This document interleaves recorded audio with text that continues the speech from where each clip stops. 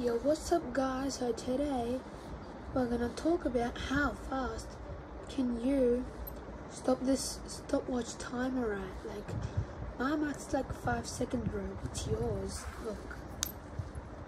Look. Five milliseconds I mean. What's yours? Mine's five milliseconds. And guys, see you.